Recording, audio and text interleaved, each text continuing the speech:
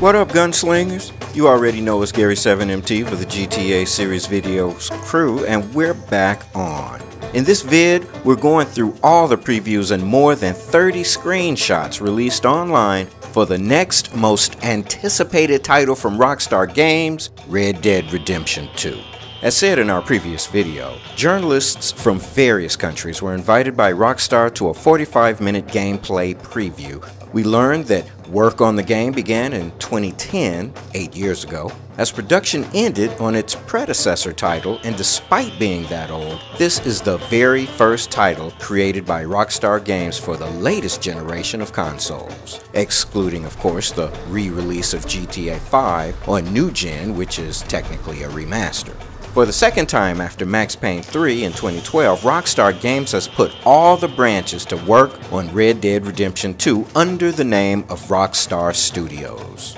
The demo shown ran on a regular PS4 at 1080p, but they've said nothing about possible support for 4K on PS4 Pro and Xbox One X. Thanks to Sunny GTA Man on Twitter, we do know that the title appears between those classified as enhanced for PS4 Pro in the PlayStation Store. And the same can be said for the Microsoft counterpart.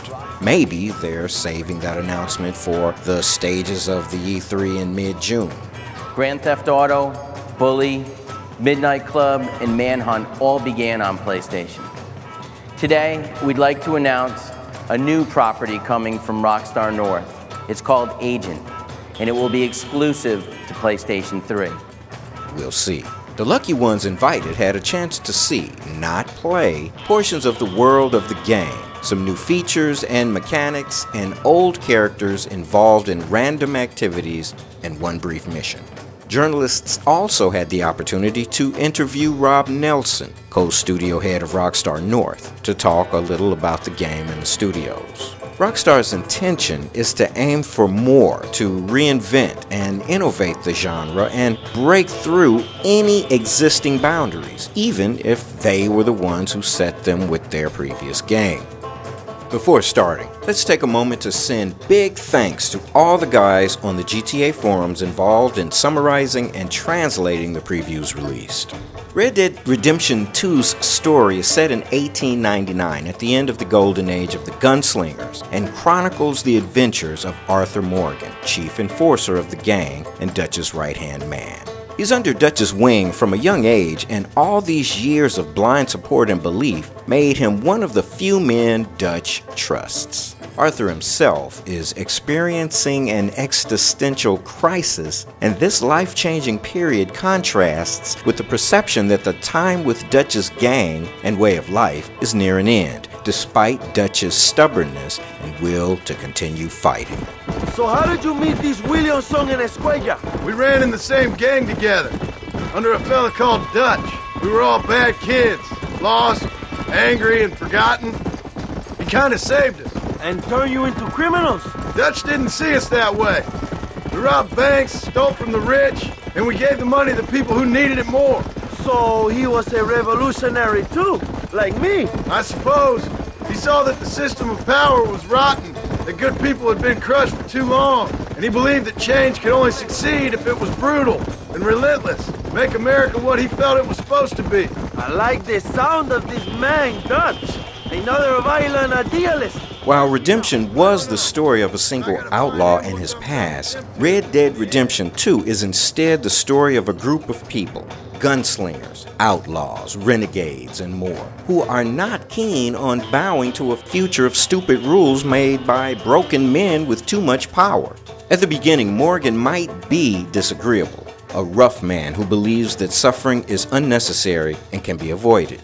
As the story unfolds, players understand that Arthur has a moral code, and they get to understand him, his motives, and why he acts the way he does. The story of Red Dead Redemption 2 is all about loyalty and honor, and centered on the figure of Arthur.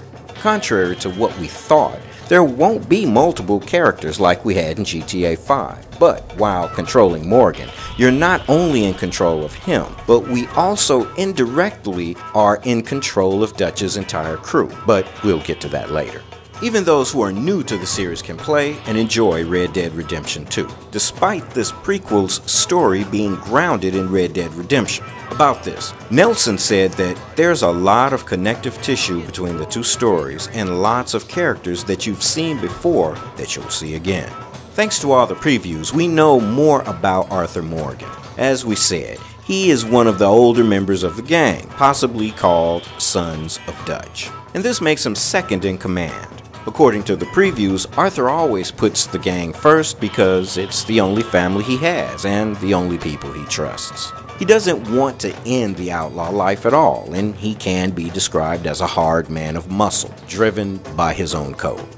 All action and no idle words. But what clearly drives the story together with the fall of the group is Arthur's existential crisis. Maybe, like his mentor, he's starting to understand that despite his actions, the war they're fighting has already been lost.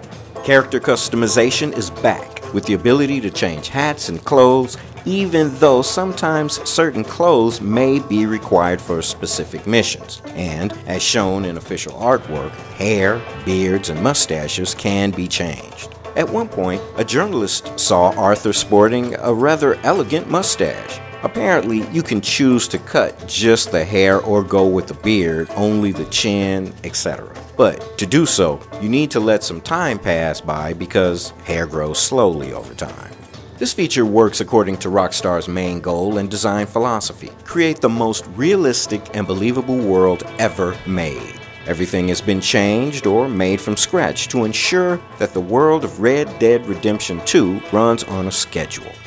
Everything all around the player moves and follows specific and believable routines with a completely recreated AI that gives everyone a role, a goal, and a meaning to be where they are doing what they're doing, with or without the presence or interaction of the player. Everything has been built with an eye towards keeping things as realistic as possible without becoming dull and lengthy from major features like the customization of the character to little details, like the fact that Morgan shakes his glass to dry it before putting it in his bag, or that an NPC puts his hand on his gun in suspicion when Morgan gets closer to him, or that if you lose your hat for any reason, you have to grab it or buy a new one because it won't just appear back on your head. Despite much of the HUD being switched off for the demo, some parts were seen and as always, the player can customize by choosing the details he wants to use. The minimap or radar is brought back to the classic circular form. And talking about returns, the dead eye is back and Morgan is clearly able to use this ability in a way more like in Red Dead Redemption. The aiming system seemed similar to GTA's, although the developer confirmed that there are new control mechanics, one of which is the ability to upgrade weapons, shoot a whole magazine in a few seconds, and most importantly, like in Max Payne 3, Morgan can bring with him a limited amount of weapons and select them via a weapon wheel. How many weapons is unknown also from Max Payne 3, and a lot more looks to be borrowed from that title and dropped into Red Dead Redemption 2, is the kill cam, which highlights kills in slow motion. The point of view is closer to the first Red Dead Redemption, and the camera changes depending on the activity. It's unknown if this can be changed manually. The sounds of the world have vastly improved. And talking about sounds, the whistle can be used now not only to call back the horse, and we'll drop more on that later, but also attracts or distracts people and animals.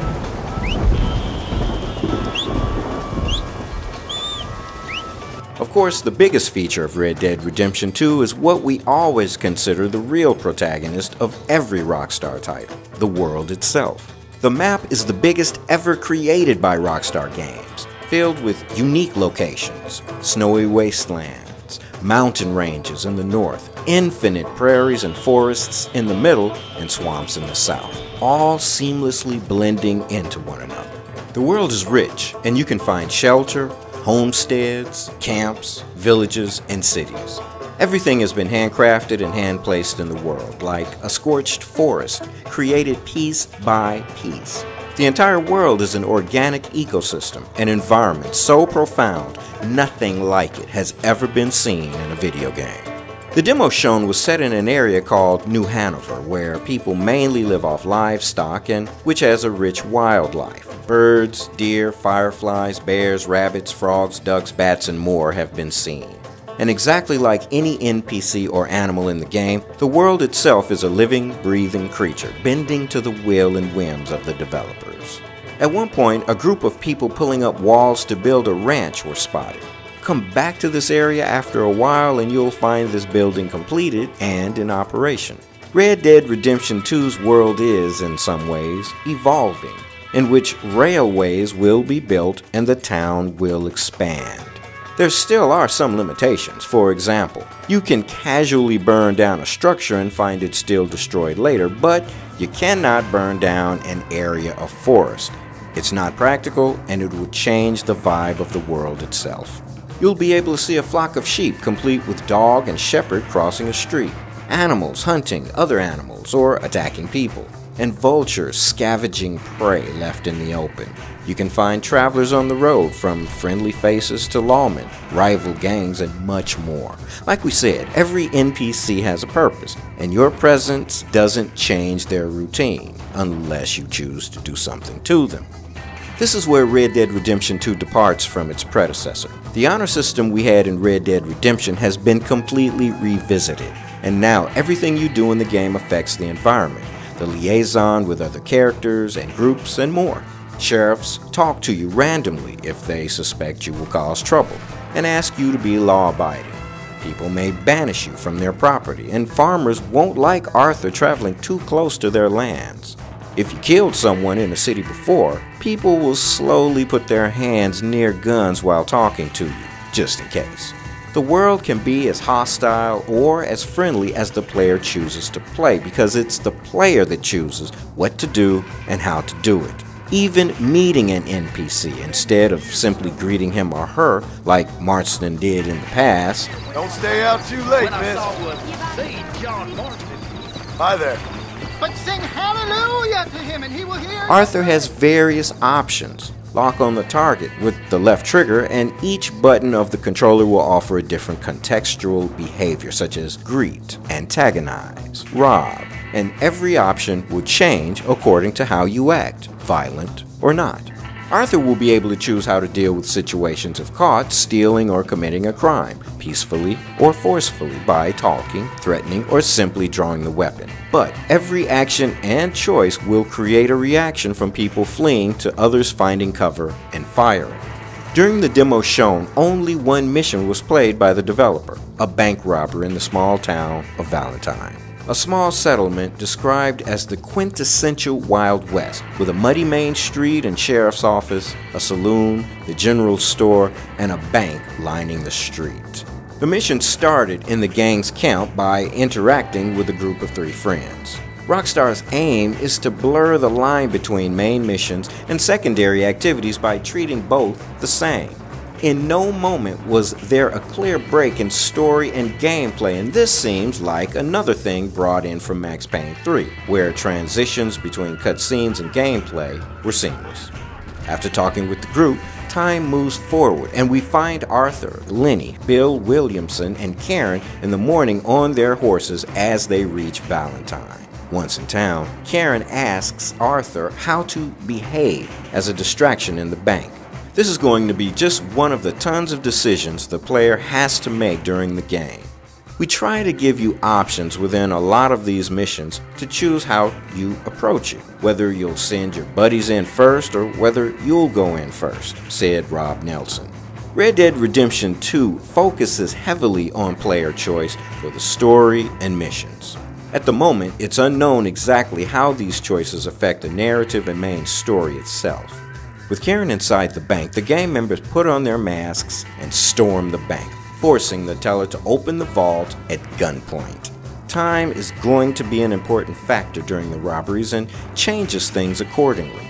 Inside the vault, we'll find five safes and a new choice to make. Attempt to crack the safes, wasting time, or blow them and make a lot of fuss. During the demo, the choice was made to place a stick of dynamite in the handle of each safe to blow them.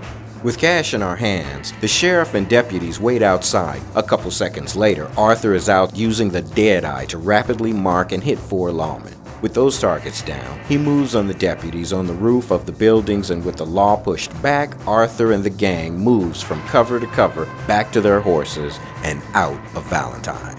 With the gang escaping, more officers arrive with Arthur and the gang beats a speeding locomotive which cuts off their pursuers. And with that, the mission ends, and technically so does the journalist's demo. But there's more to this recap because we scrambled things a bit. Various events were shown before the small bank heist. In one, Arthur loots a nearby fisherman's tent while the man was completely focused on his fish. The fisherman's dog raises the alarm, and Arthur and the man square off with Arthur pushing him to the ground after trying a simpler and less violent approach. You can go in houses and steal jewelry, jump on a moving train to rob people inside, rob a random guy walking down the street, and more. And the things you can do during the day may not be possible at other times or places. There are lots of dynamic events going on that depend on how the player acts before and during them. And the same logic also applies to the missions.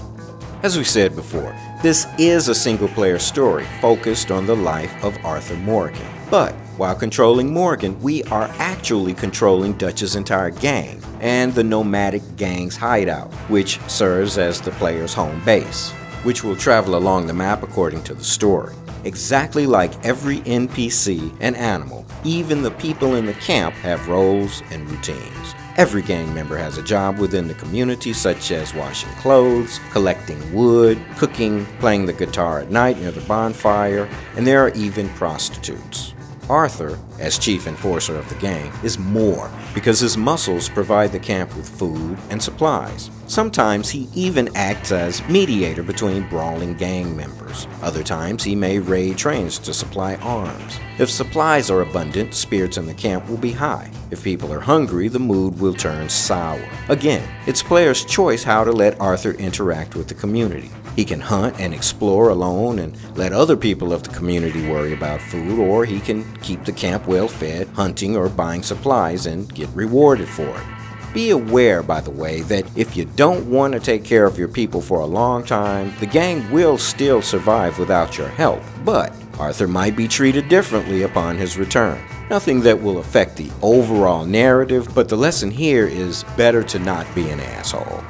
The camp serves as a resource for many things. It's not only where relations between characters are built, but here we can plan train robberies, bank heists, or hunting trips. There will be activities, and with the press of a button, you'll be able to talk with whomever you want. And every interaction can lead to new activities, jobs, and more importantly, missions. Hunting is something that we'll have to do if we want to keep our camp well fed and happy. And despite being already available in Red Dead Redemption, this time things go deeper. How you kill prey is now fundamental because if you also do it for money, butchers will pay you more if the meat is fresh and with the minimum amount of gunshots. So, if not extremely necessary, like if a bear is chasing you down on foot, try to always use a bow and arrow when hunting. But as we said, it's not just the weapon that's important, but the freshness of the meat. You can leave prey to rot under the sun and use the smell as bait to hunt predators, normally bigger animals with more meat for your people. With the carcass collected, you can either take it to the camp, remember that Arthur is a big man with no problems doing that, or tie it to your horse and take it with you. Just don't leave the corpse there for long or it will start to rot, and you may find yourself in trouble. Small kills instead, such as skinned squirrels and rabbits, will be preserved and kept in your satchel because, gameplay wise, it becomes too annoying to have small kills constantly going bad. Realism in this game is important for Rockstar, but they don't want details to ruin the player experience. Another important thing to remember when transporting a big dead animal on your horse is that people may give you some problem, from those interested in a new trophy to others who haven't eaten for a while. The horses, or your horse, are another thing that has greatly changed in Red Dead Redemption 2. They now serve as mini hubs for various activities. They are able to transport more weapons for you, to be collected and reserved for use when necessary, but there's a limit to what a horse can carry, just like you. You can still whistle for your horse, but he will react and come only if you're nearby. No more magic spawns despite having left your steed miles away. You can create a bond with your horse by calming it when it's agitated, feeding it, and grooming it. The stronger your bond, the calmer he'll be, and the faster he'll obey commands, and the easier he'll do what you need, even in stressful situations. Your horse is no more just a means of transportation, it's truly a companion. During the story, you may be able to find faster horses or others able to carry more things, but always remember that untrained horses are unpredictable and different breeds have different personalities and reactions to situations and the environment.